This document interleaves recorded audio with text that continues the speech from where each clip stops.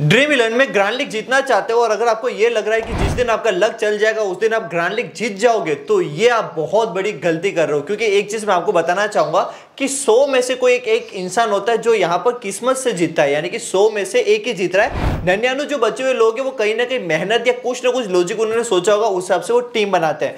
Last video के अंदर मैंने आपको तीन टीम का फॉर्मूला बताया था, लेकिन उसमें काफ़ी सारे कमेंट आ रहे थे कि भैया, हम यहाँ पर जो टीम बना रहे हैं, उसको बनाने का सही फॉर्मेट क्या रहेगा? यानी कि एक्चुअल में जो ग्रैंड लीग विनर की टीम होती है, वो कैसे बनाई जाती है? तो देखो, अगर आपको वो टीम बनानी हो तो इस वीडियो के अंदर मैं आपको टीम बनाना ही बताने वाला हूँ कि आप कैसे ग्रैंड लीग की टीम बनाओगे, क्योंकि देखो, टीम बनाने के लिए बहुत सारे फैक्टर देखने होते हैं। तो यहाँ पर मैं आपको एक लाइव एग्ज़ाम्पल लेके बताऊँगा।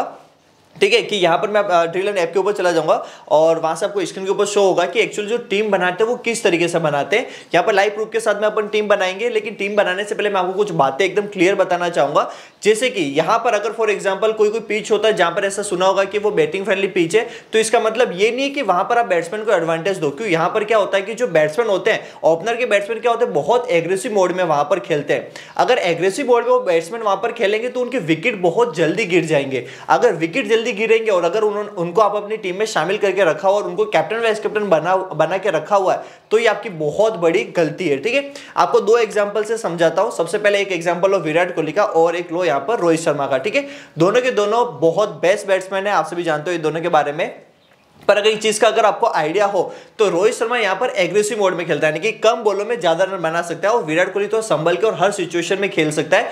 यानी कि अगर हमें यहाँ दोनों में से किसी को चॉइस करना हो तो यहाँ पर कहीं ना कहीं आप विराट कोहली को ज़्यादा चॉइस करोगे। मतलब अगर आप दस टीमें बना रहे हो तो दस में से आप प्रीफर ये करोगे कि विराट कोहली यहाँ पर सात टीमों में कैप्टन होगा और बची हुई तीन टीमों के अंदर आप एज ए रोहित शर्मा पर रिस्क लेना चाहोगे, ठीक है? रीजन आप समझ चुके हो, बहुत एग्रेसिव खेल रहा है तो जल्दी आउट हो सकता है। रोहित शर्मा जल्दी आउट हो सकता है, ठीक है? विराट कोहली जो है वो संभल के खेलता है तो कहीं ना कहीं वो एक सेफ़ चॉइस बन जाता है। अपन उस पर ट्रस्ट कर सकते हैं कि हाँ भाई, ये अपनी टीम के अंदर होगा।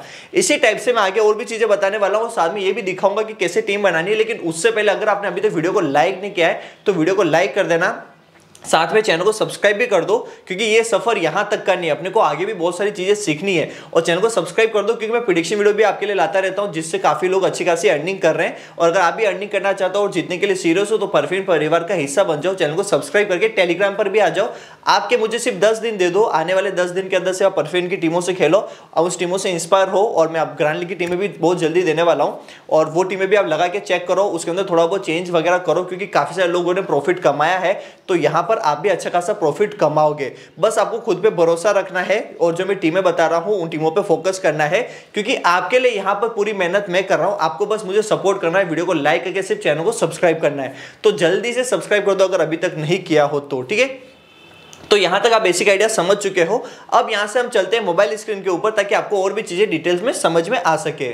तो यहाँ पे अब मैं आ चुका हूँ मोबाइल स्क्रीन के ऊपर। आप यहाँ पर डिटेल्स में चीज़ें देख पाओगे। तो यहाँ पर देखो, अभी मैं एग्जांपल लेने वाला हूँ मुंबई वर्सेस आरसीबी के मैच का, ठीक है? यहाँ पर आप सभी को पता है कि ये वानखेड़े स्टेडियम है, यानी कि यहाँ पर रन इजीली बन जाते हो चेस करना कहीं ना कहीं ईजी होता है। यानी कि फ़र्स्ट इनिंग के अंदर जो बैट्समैन है, वो कहीं ना कहीं थोड़े से स्ट्रगल करेंगे। अब देखो, यहाँ पर क्या है कि अगर आप कुछ चीज़ें देखोगे, जैसे जयपुर का स्टेडियम है, वहाँ पर कहीं ना कहीं रन जो होते हैं बनने में दिक्कत होती है। लेकिन आपने देखा होगा, उसका प्लास वाला मैच उसके अंदर यहाँ पर सिर्फ़ विराट कोहली चला था उसने सेंचुरी मारी थी। इसके अलावा कोई भी प्लेयर यहाँ पर नहीं चल पाया था। सारी की पूरी मतलब पूरी की पूरी टीम यहाँ पर फ्लॉप हो गई थी। लेकिन सेकंड इनिंग के अंदर वहाँ पर क्या होता कि जयपुर की टीम ने जयपुर क्या सॉरी राजस्थान की टीम ने बहुत अच्छा किया था और वहाँ पर बहुत अच्छा परफॉर्म भी किया था वो टीम यहाँ पर जीत भी गई थी। तो इस चीज़ से क्या समझ में आ रहा है कि वहाँ पर थोड़े से रन कम बनते, लेकिन फिर भी उस दिन बहुत ज़्यादा रन बने थे। तो कभी कभी ऐसी चीज़ें उल्टा भी हो जाती है। तो एक काम करो, एक रिस्की टीम आप इसी इस तरीके की लॉजिक के साथ में भी आप बना सकते हो, ठीक है? पर ऑल ओवर अभी यहाँ पर जो मैं आपको समझाने का ट्राई कर रहा हूँ, उस चीज़ को ध्यान से समझना कि यहाँ पर अगर आप टीम देखो तो यहाँ से हमें को वेटेज देना है तो सबसे पहले अपन देखते हैं मुंबई से रोहित शर्मा और रोहित शर्मा के साथ में अपना ईशान किशन ठीक है? दोनों यहाँ पर ओपनर होंगे तो ये दोनों खेलने के लिए आएँगे। अब ये देखो, यहाँ पर क्या हो रहा है कि हमें पता अगर फ़र्स्ट इनिंग के अंदर ये टीम बैटिंग करने के लिए आ रही है तो उसके, इसके अंदर हो सकता है, शुरुआत के जो तीन से चार ओवर है, उसके अंदर ये थोड़े से स्ट्रगल करे। अगर ये दोनों जम गए तो डेफिनेटली सही तरीके से मतलब टीम बहुत ज़्यादा रन बना लेगी लेकिन इसके होने के चांस बहुत कम है। यानी कि दोनों में से कोई ना कोई एक तो यहाँ पर आउट होगा, ठीक है? तो हो सकता है वो रोहित शर्मा हो हो सकता है वो ईशान किशन हो। मेरे अकॉर्डिंग यहाँ पर ईशान किशन पर आप थोड़ा कम दाव खेलो। रोहित शर्मा मेरे को लग रहा है कि हाँ जम के खेल सकता है। चालीस पचास रन वो बना सकता है तो उस केस के अंदर अपन ईशान किशन को ड्रॉप करेंगे। तो यहाँ पे अपन ईशान किशन को ड्रॉप कर रहे तो उसकी जगह पे हम यहाँ पर किसको वेटेज देंगे? तिलक वर्मा पे, ठीक है? अब तिलक वर्मा की अगर मैं बात करूँ तो इसने जो लास्ट के जो चार मैच लिए उसमें से भी लास्ट मैच में फ्लॉप हुआ था, बाकी सारे मैच के अंदर आप देख सकते हो ड्रीम टीम के अंदर था, ठीक है? पर हमें पता है कि प्लेयर बहुत अच्छा है, लेकिन इतना भी नहीं कि आप इसको सौ रन से मान सको। दस या बीस मैचेस में से किसी एक मैच के अंदर बड़ा अच्छा खेल सकता है बट एवरेज परफॉर्मेंस इसकी रहती है। तो इसको हम यहाँ पर कैप्टन वाइस कैप्टन नहीं बनाएँगे, सिर्फ़ टीम के अंदर वेटेज देंगे, ठीक है? तो यहाँ पर सेम सीनरो जो है, ये कहाँ पर अप्लाई हो जाएगा? ये आरसीबी की टीम के लिए भी हो जाएगा। अगर आरसीबी की टीम यहाँ पर फ़र्स्ट इनिंग के अंदर बैटिंग करती है तो ये थोड़ा सा आपको कॉम्बिनेशन देखना पड़ेगा। इसके अलावा जो सेकंड चीज़ आप देखोगे, ये देखोगे कि ट्रंप प्लेयर कौन कौन से हैं, ठीक है? कौन कौन से यहाँ पर एक तो की प्लेयर है, यानी कि इंपॉर्टेंट प्लेयर हो जाएँगे और कौन कौन से यहाँ पर ट्रंप प्लेयर हो सकते हैं। तो अगर की प्लेयर की यहाँ पर बात करूँ तो जैसे कि एक तो हो गया विराट कोहली, एक हो गया अपना रोहित शर्मा। अगर यहाँ पर ऑलराउंडर से बात करूँ तो एक मैक्सवेल है, जिस पर आप वेटेज दे सकते हो, ठीक है? बॉलर से बात करूँ तो यहाँ पर बुमराह। तो यहाँ पर आप देख सकते हो। हमारे पास ये चार सबसे बेहतरीन की पॉइंट हो गए, या की प्लेयर हो गए, यानी कि इन्हें हमें वेटेज देना ही देना है, अपनी टीम के अंदर शामिल करना ही करना है। तो ये चारों प्लेयर आपकी टीम के अंदर होने चाहिए। हमें पता है कि 99 परसेंट चांस है कि ये प्लेयर बहुत अच्छा करेंगे और ड्रीम टीम के अंदर आएँगे, ठीक है? अभी कैप्टन वाइस कैप्टन की यहाँ पर मैं बात नहीं कर रहा हूँ, अभी मैं सिर्फ़ प्लेयर की बात कर रहा हूँ। यानी कि ये चारों ऐसे प्लेयर है जो बहुत अच्छा चल सकते हैं। मैक्सवेल यहाँ पर थोड़ा सा डाउटफुल रहता है, लेकिन हमें पता है अगर ये जम गया तो बहुत अच्छा करेगा और ड्रीम टीम के इसके अंदर आने के चांस भी बहुत ज़्यादा रहते हैं, ठीक है? अब जैसे अगर इसका अपन रिसिव परफॉर्मेंस भी देखें तो देखो, इसने जो लास्ट के पाँच मैच खेले उन पाँच मैच में से, में से ये चार मैच के अंदर ड्रीम टीम के अंदर आया और एक मैच के अंदर ड्रीम टीम में नहीं रहा और वो एक मैच भी यहाँ पर चेन्नई के सामने पहला मैच था ठीक है? इसके बाद के सभी मैचेस में ये ड्रीम टीम के अंदर है यानी कि इस पर आपको वेटेज देना ही देना है। हमें ये देखना है कि प्लेयर कितना इंपॉर्टेंस है ड्रीम टीम के हिसाब से ठीक है? कि मैच के बाद जो हमारे ग्यारह प्लेयर है वो सबसे बेहतरीन ग्यारह प्लेयर यहाँ पर होने चाहिए। तो ये हमारे चार प्लेयर होगा यहाँ पर जो कि ऐसे की प्लेयर होंगे जिनको आपको ड्रॉप करने का रिस्क बिल्कुल भी नहीं रहना है। अभी की प्लेयर के बाद में हमें ये देखना है कि अब यहाँ पर हमें ट्रंप प्लेयर कौन से लेने हैं, ठीक है? ट्रंप प्लेयर वो हो गए, जिनका सिलेक्शन रेशियो थोड़ा सा कम हो या प्लेयर फॉर्म में नहीं हो, लेकिन अब अच्छा कर सके, ठीक है?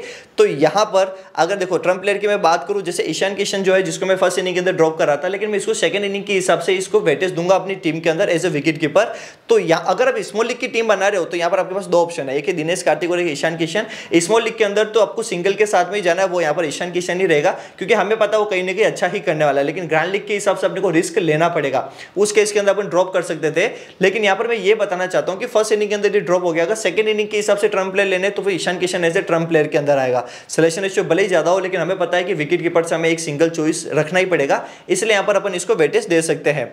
इसके बाद जो नेक्स्ट टर्म प्लेयर बन सकता है, वो कौन बनेगा? वो अपना बनेगा यादव। ठीक है सूर्यकर यादव बनेगा। रीजन बहुत सिंपल है, छियासठ परसेंट का इसका अभी सिलेक्शन रेशियो दिखा रहा है। और लास्ट मैच के अंदर हमें पता है कि ये सिर्फ़ मतलब अगर मैं बताऊँ तो जल्दी आउट हो गया था, ठीक है? तो इस केस के अंदर क्या हो रहा है कि हमें समझ में आ रहा है कि अगर ये प्लेयर जल्दी आउट हो गया तो हर मैच के अंदर जल्दी आउट हो जाए, ये ज़रूरी नहीं है। अगर ये खेलता है तो डेफिनेटली ये इस इस मैच के अंदर बहुत अच्छे रन बनाएगा और यहाँ पर ड्रीम टीम के अंदर भी आएगा। तो दूसरा प्लेयर हमें समझ में आ रहा है कि सिर्फ़ सिक्सटी का सिलेक्शन रेशियो की वजह से ये एक ट्रम प्लेयर बन चुका है। तो इसको भी अपनी टीम के अंदर अपन शामिल करेंगे। इसके अलावा, यहाँ पर अगर हमें और किसी पे वेटेज देना हो तो तिलक वर्मा भी कहीं ना कहीं यहाँ पर एज ए ट्रंप प्लेयर रहता है, इसको आपको वेटेज देना है। यहाँ पर ऑलराउंडर से बात करूँ तो आप हार्दिक पांडे पे वेटेज दे सकते हो। देन यहाँ पर अगर बॉलर से बात करूँ तो एक तो अपने पास सिराज का ऑप्शन है और एक कोजी का ऑप्शन है, ठीक है? तो यहाँ पर आप देख सकते हो, मैंने ऐसे ट्रंप के तौर पे छह प्लेयर को वेटेज दे रखा है। यहाँ पर जो अपने अपनी टीम के अंदर मैं शामिल करना चाहूँगा। और चार यहाँ पर मैंने आपने देखा होगा एज अ फिक्स प्लेयर बताए थे जो कि की प्लेयर थे, जिनको यहाँ पे आप ड्रॉप कर ही नहीं सकते हो, ठीक है? तो चार प्लेयर वहाँ पर वो हो गए और छह प्लेयर यहाँ पर ये हो गए, ठीक है? तो टोटल मिला के यहाँ पे दस प्लेयर हो गए और एक जो एक्स्ट्रा एक प्लेयर है, अपना रिस्की प्लेयर हो जाएगा। तो इस तरीके से अपने कॉम्बिनेशन पूरे हो जाते हैं और ये जो टीम है वो ग्रांड लीग के हिसाब से बेस्ट बनती है।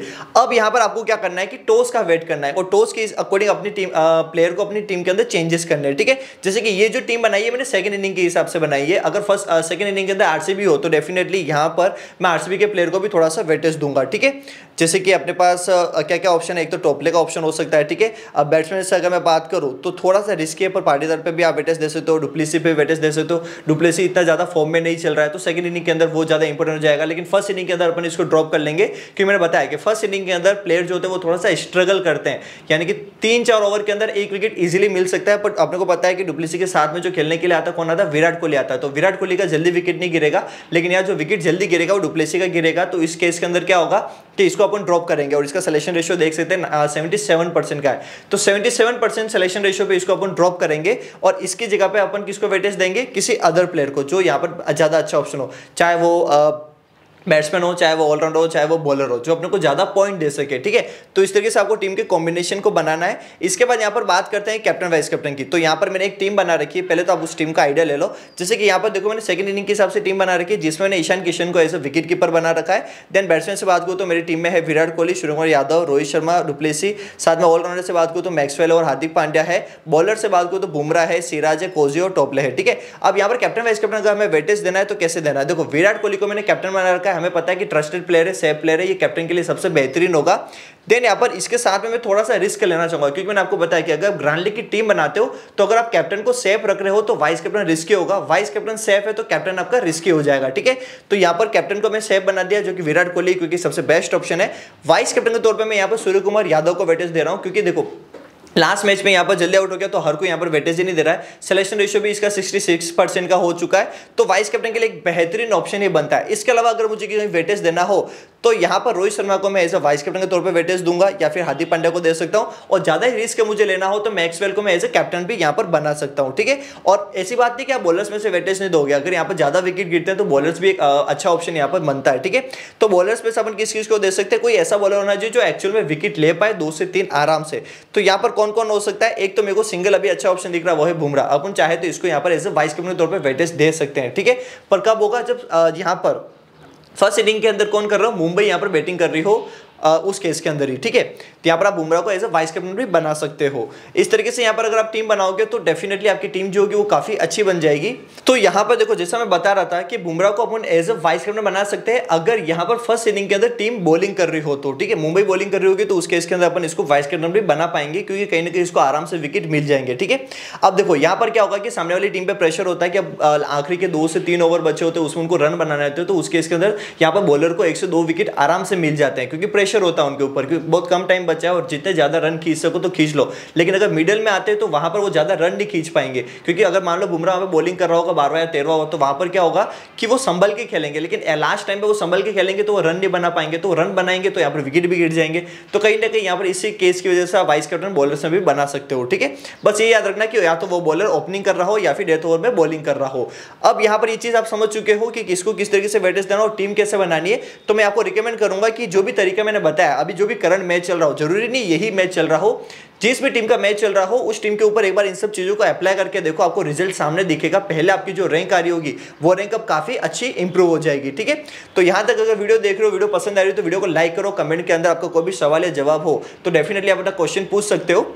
इसके अलावा, अभी तक आपने चैनल सब्सक्राइब नहीं किया तो जल्दी से सब्सक्राइब भी कर देना, क्योंकि आने वाले टाइम में इसे आपको बहुत सारी वीडियो मिलती रहेगी।